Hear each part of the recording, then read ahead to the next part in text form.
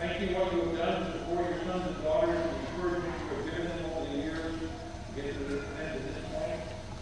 With your dedication and devotion and continued support, they're going to go on to be the future of our nation, our nation's finest leaders. We look forward to seeing you this evening in come support. I think the weather is still holding okay for us this afternoon. There'll be swearing in ceremony there that will be brief. We will then get to meet with your sons and daughters, we'll walk strictly along. It'll be laid out there, you'll see how you do that. And, uh, I thirty. So please enjoy enjoy what most of the time. Uh, realize you have and daughter. What we'd to do now, walk around here, we'd to take questions. We have a little bit of time here.